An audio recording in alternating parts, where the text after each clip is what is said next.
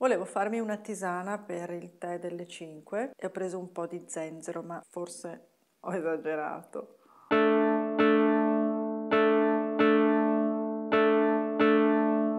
Ciao, sono Simona Vignali, naturopata esperta di salute naturale e alimentazione sana e tu stai guardando la mia rubrica di domande e risposte per il tuo benessere. In questo mio video, che vedi qui, ho descritto ampiamente i benefici dello zenzero, che sono tantissimi, tra cui proprietà digestive a favore della mucosa gastrica, antinfiammatorie utili contro i dolori articolari. Lo zenzero è un antiossidante naturale che rinforza il sistema immunitario, un antibiotico e antivirale naturale utili contro gli stati influenzali. Fa bene in caso di mal di gola e tosse.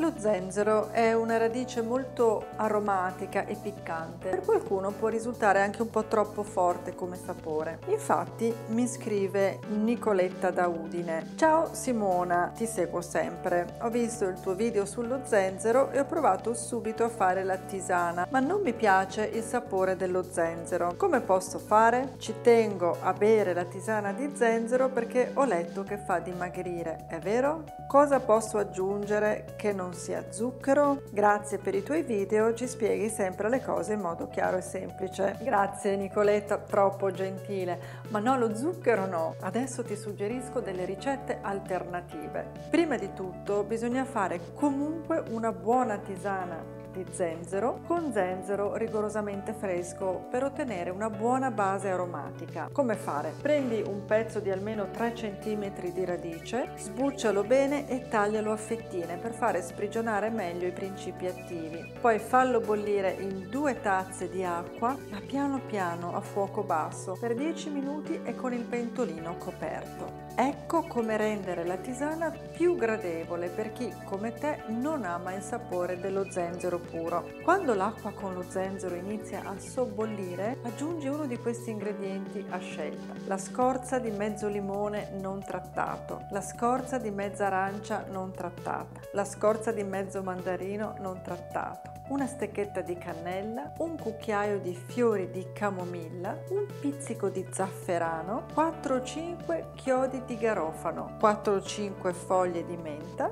se ti piace, 4-5 foglie di salvia, 3 semi di cardamomo, ma non di più, un cucchiaino di semi di finocchio. Dopo 10 minuti di sobbollore spegni il fuoco e aspetta ancora qualche minuto prima di versare la tisana nella tazza. Ma lo sai che sul mio canale trovi tanti altri video che parlano di spezie, cannella, di zafferano e di tisane. Per vederli tutti basta iscriversi con un clic.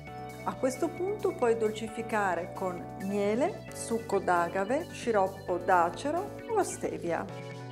Una tisana di zenzero bevuta dopo mangiato favorisce la digestione e ha un effetto termogenico, cioè riscaldante, che attiva il metabolismo grazie al gingerolo, il principio attivo piccante che innalza la temperatura interna. Quindi, riguardo al dimagrimento, una migliore digestione di grassi e carboidrati e un innalzamento del metabolismo possono creare le condizioni ottimali per chi vuole dimagrire. Se vuoi aggiungere aggiungere un'altra spezia con effetto termogenico attivatore del metabolismo, metti un pizzico di peperoncino rosso dolce nella tua tisana. Qualità italiana è meglio, ma non pensare Nicoletta che puoi mangiare quello che vuoi e poi berti la tisana di zenzero che ti brucia il grasso addominale, perché non è così ma se bevi regolarmente la tisana di zenzero acquisirai una buona abitudine per la tua salute che porterà con sé altre buone abitudini come un'alimentazione più equilibrata e un regime naturalmente dimagrante. Fammi sapere come va Nicoletta.